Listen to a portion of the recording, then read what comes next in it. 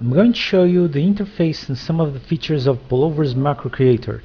At the top of the main window we have the menus and the toolbars with commands, options, hotkeys and the loop counter. You can use the toolbars to create, open and save projects, export your macros to AutoHotkey scripts, insert and edit commands and set playback and recording options.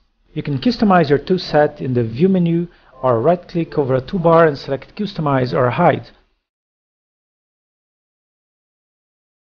The loop counter sets the number of times to execute the current macro. Set it to 0 to create an infinite loop.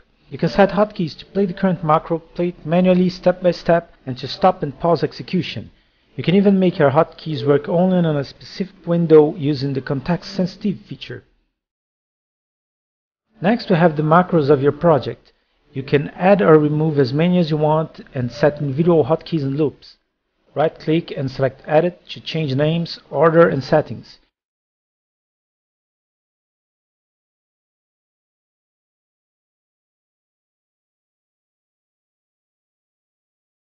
You can also drag them to reorder. In the list below you can insert, edit, reorder or remove comments. Uncheck a row to skip it during playback.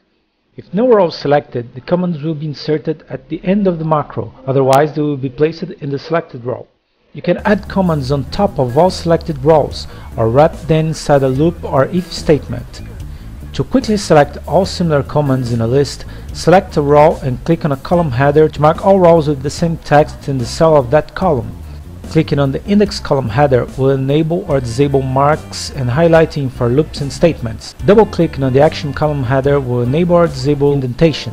The preview panel will show your macros in AutoHotkey script format.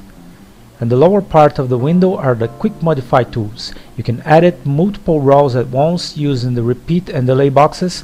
If no row is selected, they will modify all rows in the list.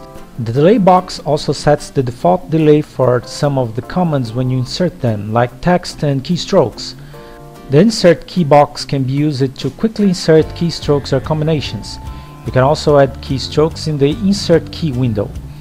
If you can't find a specific command or function, try the find a command button.